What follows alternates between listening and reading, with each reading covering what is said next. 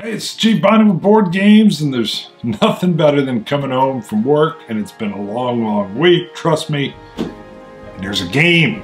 And on top of that, it's a game from Academy Games. And on top of that, it's a Conflict of Heroes game of Academy Games. And then it's the third edition of Storms of Steel.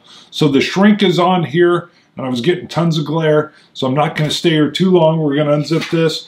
Came with a nice new little flyer that kind of shows the current games that are out. That was new as well. Don't need to look at that. But this has um, a new die. I know that. A die that helps you get through your APs. Um, the maps. We're all done in Germany. Let's go rip this shrink off and see what it looks like inside. Booyah! All right, we're looking at the cover. I'm going to rip the shrink off in a second, but before we do that, this is the original version. So first edition, you can see we had a bigger box. Uh, it wasn't this new style that's thicker with a lot more art on it. So you had this, it's almost like a linen finish box. Same art. Same art from Steve uh, Paschal. Um, but everything's gone in this new mode where you've got the corners here. The title comes in, the, the artwork fills the entire box from edge to edge. And, uh, and it's actually the colors pop a little more too. So nice work on that. All right. Ooh.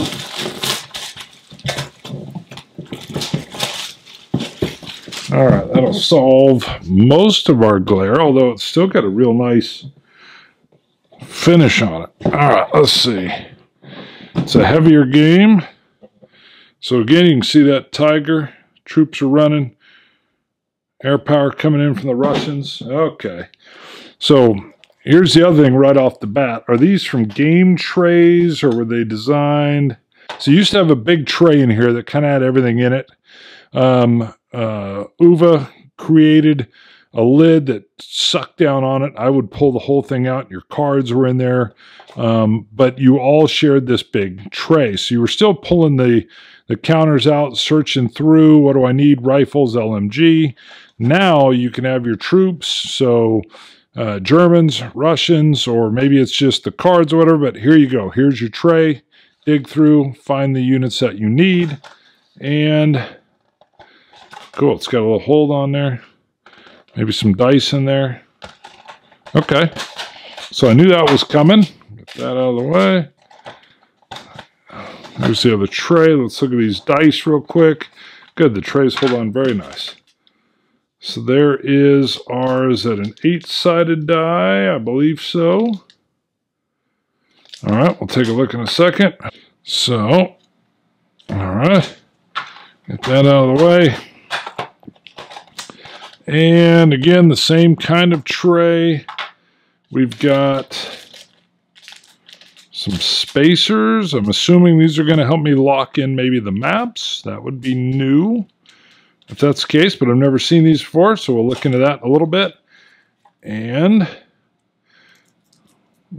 our cards here. I'm looking because that's a bit of a different, uh, I'm trying to remember what the design was, and I just played Awakening the Bear uh, three days ago. So, weapon card, Storms of Steel, Kursk, 1943. That's the artwork we've all, well, the style we've all come uh, to know if you played the system. All right. Mission book. Glossy. Thick. I mean, you can see this. So how many pages we got here? Flipping to the back. Uh, 39. 40 count in the back. Mission map. Oh, that's interesting. So I would have to do a direct comparison, but that is, we've got a different kind of layout for your missions here. Um, we've got an overlay example. Very cool. All right. Hmm. So this is nice. Big exploded page showing you where the counters go. And even bigger. I mean, look, that's kind of small. So this is just the briefing saying, hey, this is how it works, but that's the full page. Got to admit, when I was looking, I'm thinking that's still kind of tiny. Huh. No, it's not. We're at full page here. Now, I'm going to admit to you, I'm getting old, and I think I need bifocals even, and it's sad, and I'm holding off. I've been doing my dad's trick of pulling the glasses up on my forehead. All right. Um, very nice. Satchel in uh, either hex. Rounds two and five. Okay. Yep, these are all laid out extremely nicely. Setting the stage for Kursk. Biggest tank battle in history. I can't imagine. All right, so it looks like those are going to lay out. Let me see if we got any other. Nope, just tons and tons. There was, uh, I'll have to dive in and look, but there's also a reworking of these missions. Um, if memory serves, on the original one, which I have right over there, um, Uwe sent out, uh, had multiple different people come up with several different missions to be played with the system instead of one coherent person just, you know, grinding them all out. But the complaint was, so it's a complaint, not mine, just the general one, where a lot of the the uh, the missions were kind of samey. And uh, they started you right in the thick of battle, so it was just slugging it out. There wasn't a lot of how do I approach this? How do I want to approach it as a unique individual? And apparently that's been worked on. But trust me, I already got a buddy that wants to come over Monday and play this. Hmm. Look at that big old battle. Wow. Okay. Sorry. That's going to be long. Let's see. What do we got? Okay. Pull it out of this little sleeve here. This is going to be the difference with the victory points. I believe, no, sorry, mission round victory. Okay, so instead of the big card that I'm used to, looks like we're going to have a card just tracking the mission rounds, the victory points on here. Okay, this is way different. Usually you had a big card that had your command points like this, your APs, your victory points, and your mission round on it. Action cost. All right, this has to do with that die, and as you, I need to fully read the rules because I haven't done it yet, but as you roll and move the same unit, there's a bigger, bigger chance that they're going to get spent. Interesting. So and that's what my, sorry for the glare, that's what one of my big dives will be. So you got four of these because this can handle um, multiple players. Generally, I think almost always, I've almost always played it two player, but uh, what do we got? Advertisement. Okay, another advertisement. Nice player card. Wow, look at that breakout. Isn't that something? Um, very nice how this is huge and they've broken it off in these like pie sections. It's very nicely laid out. That's cool. Okay, single side. Hmm, a little bit different. Not single side. Okay. So maybe they're usually these are kind of connected, but maybe folks were saying, you know what, I want them both up so I can see them. And I want to be flipping back and forth. Okay. Here's our rule book. Explaining our new trays. Your hit counters, when your unit gets, when you get a successful hit on somebody, you pull a counter. It tells you if they're cowering, suppressed, panicked, there's one, at least in the old game, where you're automatically, that unit was just out. They're ineffective. They're wiped out. Okay, everything again. So one thing Uwe does is you'll have like designer notes in here. You'll have historical notes that'll be layered in. Tons and tons of breakouts, pictures, um, You'll have arrows showing line of sight. See, I don't know. Here's something about stress. Okay, that I'm not familiar with. Um, this is new on the explanation, little circles. So you're dialed, ah, sorry guys, on a focus. Circles where you're dialed in on certain spots. Let's see. So I love the rule book before already. It's easy to reference. You always have an index. Um, so you can go check, hey, what's close combat rules again? How many fire points bonus do I get? Four. But if you don't know that, you can go check. Beautiful arts in here. So again, the uh, the rule book does not disappoint. There's some red. These red things are a little bit different. Must be key stuff, maybe? I don't know. I don't remember there being a lot of red, but it's been a while since I've read the rule book for Storms of Steel. Okay, everything again, very nice, glossy, high quality, explanation of all the cards and how they function. And we're looking at 39 pages here. Again, can't say enough about the index. So you'll roll through and be trying to remember, you know, what how's what's the mortar rule again, you know, for indirect fire, non-line of sight fire. Boom, you go find it, you roll it, you find out what it is.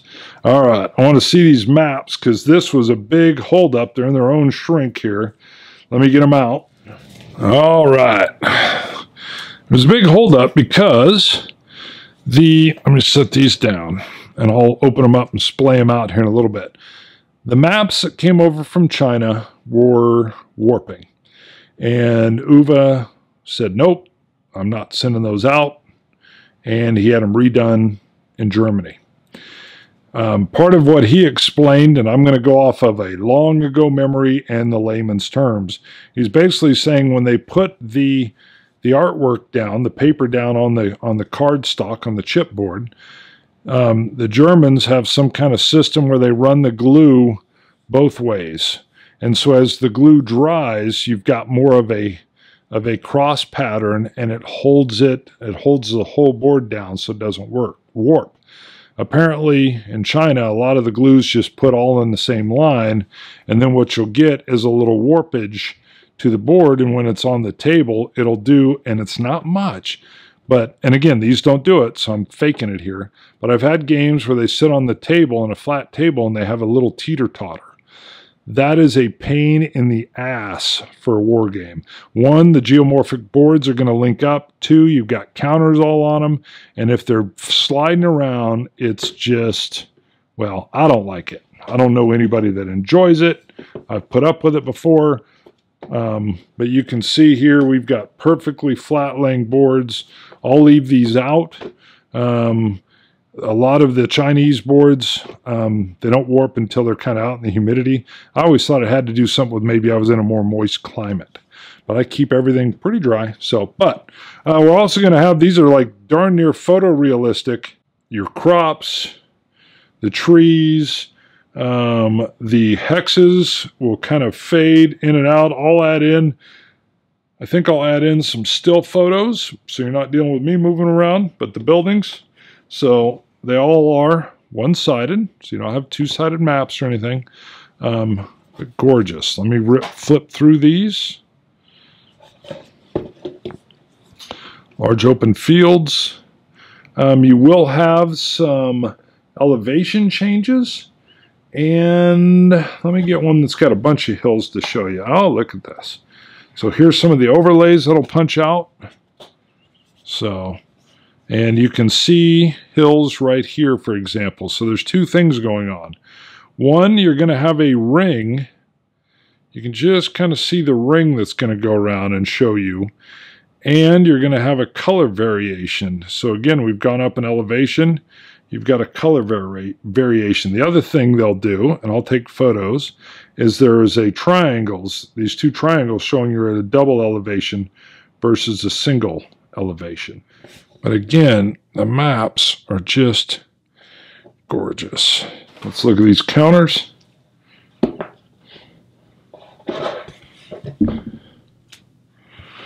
All right, coming in. The smoke actually is billowing a little more. That's interesting. I think. I forgot how thick these are, and I play all the time, but they feel even thicker when they're in this, when they're on the board. I mean, when they're all together. Look at that. Punch out extremely easy. Let's look at another.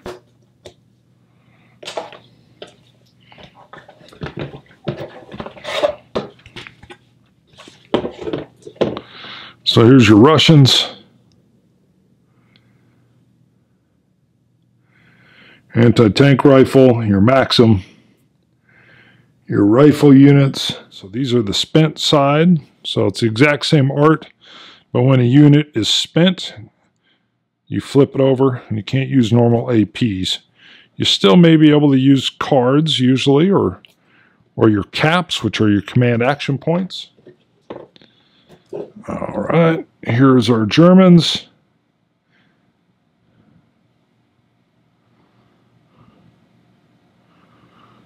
Very nice. There's a Stuka. All right, and again, you'll see the same. They're spent. So we've got some more vehicles up here, uh, some uh, infantry carrying vehicles. But this is the key part when you hit a unit, when you successfully hit an enemy unit, this happens to be the infantry side.